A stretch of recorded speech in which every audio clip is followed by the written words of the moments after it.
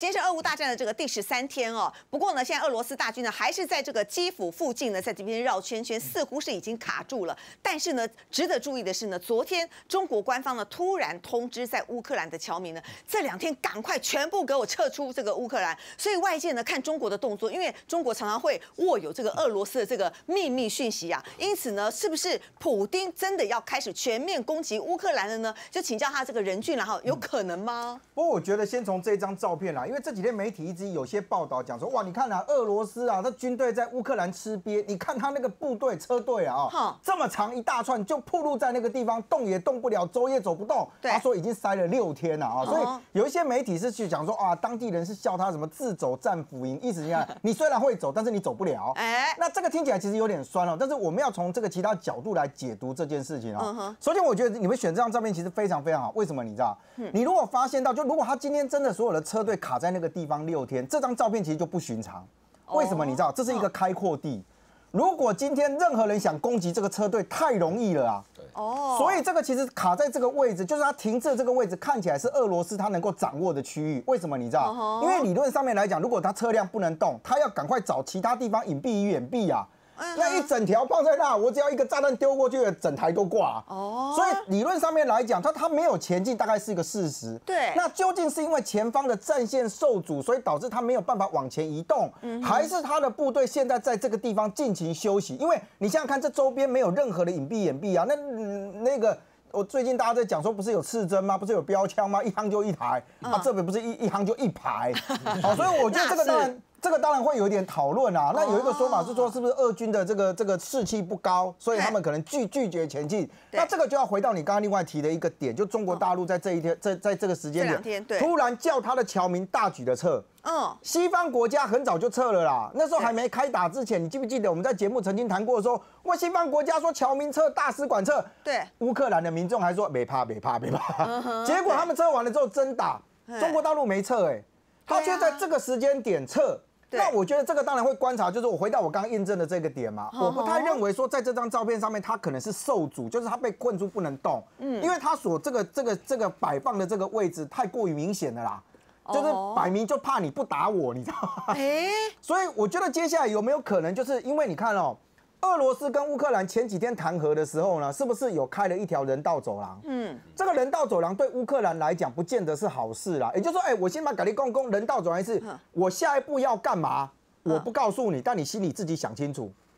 那个其实是一个上对，就是一个一个大对小的时候，我才会用这种方式啊哎，。可是，一般的那种人道走廊，大家的当然想当然尔，就是人道的救援让你走的嘛，谁会知道他在底下埋什么地雷什么的？没有，所以啊，我让你走啊啊！但是我过了这个期间之后，你还不走，那我就合理怀疑你留在这里的是要跟我对抗的军人嘛。哦因为我开放让你平民离开啊。哦所以你看，他现在人道走廊关闭了之后，中国大陆赶快说，哎，给你给你，侨民赶快撤。为什哦么？他是不是研判俄罗斯要开始炸了？对，所以我觉得接下来大家会看，就是说乌克兰这场战争会要停多久嘛？啊，我们今天都用照片来说好了。嗯，这张照片呢也很特别，因为前几天一直有说，哇，跟你讲哦，俄罗斯的今天欧米斗湖啊，我跟你讲好，为什么？他讲说，你看你们那个飞行员哦被 K 下来，你战机掉下来。对你现在画面上面看到这张是断垣残壁，对不对？这对 D A 那回零机怕干咪咪毛毛，不要以为它本来就长这样。我特别找了一下，它本来长什么样子？哦吼，它本来长这样，有没有看到？好漂亮！本来好漂亮哦，也差太多了。这个是苏三式的这个所谓的战斗轰炸机啊，来给各位看一下它最大的不同是什么？你知道，其实它是一个双座战机。对，它的它的那个驾驶舱长得跟人家不太一样，因为以前的我们看到那个战斗机哦，双座战机哦，通常是驾驶员一前一后，对。然后后面那个坐高一点，为什么？前面那个是开飞机的，嗯后面那个呢是这个这个战斗官啊，武器官啊，对他负责观察或干嘛。尤其是战斗轰炸机来讲，后方的那个要么就是负责那个前方的负责开，后面开始负责瞄准，然后呢投飞弹飞开始那个炸这样子。对。那可是呢，他们这个苏三四这架飞机比较特别，是我放大给各位看。嗯，你有没有看到？他们两个是排排坐，他们两个是坐在旁边的。所以这一次被击落的这一架飞机，其实上面原先是有两个驾驶员的。嗯那结果呢，一个当场飞机爆的时候他就殉职了。另外有一个被活捉的这位，还比个就是还比个耶的这一个呢？被活捉还比耶？哎，对不起，他是他之前拍之后吓我一跳。被活捉的时候是满脸是伤啊。好好，我想要讲清楚。这一个呢，其实是他们这个苏三四的飞行员，叫做克拉斯诺雅斯克，我俄国人秒龙就等了哈。但为什么要特别介绍他呢？我先回一下。几呃十几年前有一部电影叫《Top Gun》六，看过没？哎，有。就是你要顶尖飞行员才有办法去 Top Gun 里面当教官。嗯哼。这位老兄某种程度为什么他可以比业？你知道？因为他以前是有战功的。哦。他当时出勤的时候其实是有击落过敌机，所以还有跟普丁合照过，你知道吗？他也是那个类似他们像俄罗斯 Top Gun 那种训练中心的老师啊。他们说他是王牌飞行员呢。哎呀，啊，蛮行蛮行，跟我 k e n d 来啊，你知道？就觉得说，哇，你俄你乌克兰加强啊呢？而且你知道他们居然讲说是用所谓的监射武器呀。监射武器就很简单，打带跑，意思就是说我几几机啊，你等等啊，你我推开摸不我的照起啊，你知道吗？那这个其实就要回到原先的那一章里面去啊。嗯，因为在这种地形上面啊，你可以看乌克兰几乎都这种平原地形，大型防空武器啊，你藏不住。嗯，你摆在那个地方，就是告人家告诉人家阵地在这里，不是让人家 K 吗？对。所以像这种平原地形啊，最好用反而是监射武器。嗯，你可以跟折凳一样，藏匿于民宅之中，垂手可得，夯了就跑。哦，那这一家为什么被夯下来？你知道吗？哈，他们有个说法，哎，战斗机呢就不会加管啊，是啊，怎么打得到？监射武器小后我刚跑了来，结果后来发现他们讲法是这样说：这个苏三四当时正在执行低空炸射任务。嗯哼，我们现在轰炸机有分两种了，哈，就是说，哎，应该说分中的一种，但它飞这个炸弹有两种，一种是打了就可以跑，为什么？它自动会镭射导引。嗯，所以我发射完了之后呢，我人离我飞机离开，我的飞弹还可以自己去打。这是现在的飞弹哦，传统的飞弹就是什么？你知道飞到上空，闸门打开，飞弹掉下来，自由落体的方式。据说俄罗斯的部队啦，为了节省弹药，用了最传统的炸弹。啊，最传统的炸弹你也知道，哎，这个需要练习啊。你你你要飞到这边，那个打的位置不对，你要飞过飞过头。对，所以他这次是用采用低飞的方式，为了确保能够轰炸到目标。结果这一低飞就中了监射武器的道。就因为这样被 K 下来，所以呢，但你就发现到这一次那个布林肯不是跟他那个乌克兰的外长不是在那个边境会面？我刚刚黑马讲那彩礼站，你乌乌布林肯你有本事进到乌克兰里面去跟人家叫出来干嘛？那跟德国送钢盔有什么不同？就是 叫人家出来拿。嗯，他就你就发现到他的外长去跟布林肯说什么？哎，你要我们要这些武器啊，单兵防空武器。嗯，因为在他的地形里面其实很好用，你知道？好，那现在问题来了。俄罗斯因为现在大家对他状况不明，因为他资讯真的是不透明啊，啊，所以就有人讲说，哇，他的大军呢可能卡住了。对，那你有没有发现讯息就有点矛盾？有人讲说他可能要炸了啊，不然中国大陆为什么要侨民要跑？是啊，所以他到底状况怎么样不知道。好，现在又有一个新的说法，普丁呢要找十五万的叙利亚佣兵。对，那这个是华尔街日报的说法，而且他说他引述了四个美国官员的说法，说俄罗斯有意从叙利亚征集近。二十万个擅长城市巷战的叙利亚佣兵，为什么这几个字我要念清楚一点？你知道，这个跟战斗有关。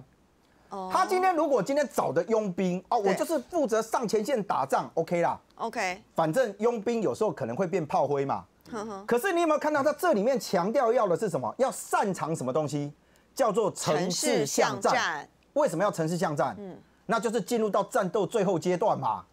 就是我今天攻下你这个城之后，我要开始做一件事情，叫做清扫战场。嗯哼，我不要让我的人进去啊，我找这些佣兵擅长城市巷战嘛。你你想想看，刚刚那张图，这种平原地形需要城市巷战吗？这应该找梁山特遣队吧，会比较合理嘛。所以他现在做的其实已经在做战争最后阶段的准备了哦。我要进入到你的城镇里面去哦，我不知道是不是基辅啦。但是你从这里面就知道，他其实要进入到什么城市巷战，叫做肉搏战嘛。哇，那真的近身肉搏了。那就是陆军最后在扫荡战场的时候，哎，我今天把大目标打完了，我看看你有谁躲在民宅里面，跟折凳一样，咱们不一一下，我就一个一个进去搜，一个一个进去抓。哦所以你说他的战争的阶段是不是已经在做最后阶段做准备了？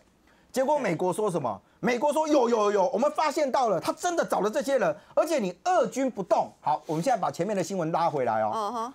俄军呢，他不动了。对。自己本身部队不动哦，但是我找十五万人往前冲，那代表什么？俄罗斯部队在做最后的准备，他做最后的那一条线。哦。我让前面往前冲的找那些佣兵去。所以你就把它弄起来，就是哎，那他的那个停滞是真的停滞吗？是真的他动不了吗？还是他今天把这个新闻再结合起来？为什么他进到第一线里面去了？要找这些佣兵？所以很多人就回来看说，哎，那你美国的角色是什么？我跟你讲，美国真的是好棒啊，美国超强的。哦，美国说呢，我要派五百个人，五五百个人，不是去乌克兰，是去北约其他国家，部署到波兰、罗马尼亚，还有德国跟希腊。意思是什么？你知道，这些人是给北约盟国安心啊。我美方会就就有点像是把那个那个飞机往那个德国啊，往什么地方放一样，但是我不进入到乌克兰里面去。嗯，那所以对乌克兰来讲，他一定会比较担忧，就是说，那如果今天我今天真要进入到城市巷战的时候怎么办？对，好，各国也不是说这么真的这么无情无义了哈。新的说有一个秘密基地跑出来了。哦，为什么呢？因为你看各国不是开始送武器吗？虽然我还是要觉得啦，哈，就是送人家武器送可以用的，不要送那种过期品。哦，还有谁生谁高贵美化的一挂的，真的德国错误示范。哎呀，哎。你知道这些武器哦装备，其实到了一个地方去之后，其实送去不是问题啦。哈，真正最大的困难是分配。嗯哼，也就是你想想看，我们每次到救难的时候，不是那个那个物资都集中，对不对？可是物资怎么发出去这一件事嘛？所以它本来就会有一个货物集散地。嗯，那现在媒体是讲说呢，乌克兰其实是有一个秘密基地，但我真的必须讲哈，当所有的秘密基地一被报道之外，什么都不是秘密了啦啊。OK，他是讲说在这个地方已经收了两万枚左右的飞弹。嗯，那我们还是强调哈。不是大型防空武器的那一种，你知道为什么这里面会有点差别？除了我刚刚讲说跟泽登一样打带跑之外，为什么你会觉得说不对啊？美国不是有爱国者吗？不是有那很强的这个武器，为什么不送去？你知道？因为很简单，你送去人家也不会用。他们以前是用二字的体系，他们熟悉的是二文，你全部要把它翻成英文，还要有人去教他，还要美军顾问团、技术指导团，通通都进去。啊，你现在把那个东西送去给他，他一起不让他赢了，他变大型废弃物放在那。所以依照他的现况来讲，各国各国就开始送这些监测武器往那边走。对，那美国官员就讲说，我跟你讲哦，美国跟北约成员里面啊，跟乌克兰送去将近两万枚的，你看，反战车跟防空飞弹，那就是什么？标枪、刺针。都是这种单兵打了就跑的这个东西啊。对。那他现在的状况应该是这样哈，就是说你今天从这边拿到，我认为当然这个讯息被放出来，我认为西方国家放的啦。就是告诉大家讲的，哎，我们没有背弃你啊，你们大家不要这样啦，不要而且我们是有管道可以真的送进去，因为之前说送不进去嘛。是啦，啊，但是我也讲真的啊，布林肯都能叫人家外交部长出来了，还有什么 人都出得来了，我也不相信那个地方进不去嘛？啊，所以我觉得这个当然是一个宣传的意味比较浓厚了哈。但是我觉得从刚刚这些迹象上面看起来哈，我认为俄罗斯现在在做的事情很简单，嗯。你会不会做进后的最后的进攻？我认为会。OK，那这个状况会不会到很惨烈？我觉得从中国大陆现在叫他的侨侨民开始撤的时候，哎，如果今天之前美那个美国媒体的报道为真，说普京为了让冬奥闭幕能够顺利结束，那把攻击乌克兰的时间都点都往后，那中国大陆这时候要求就是撤侨民这件事情，我认为那可能就是再告诉大家不要小看俄罗斯的下一步啊。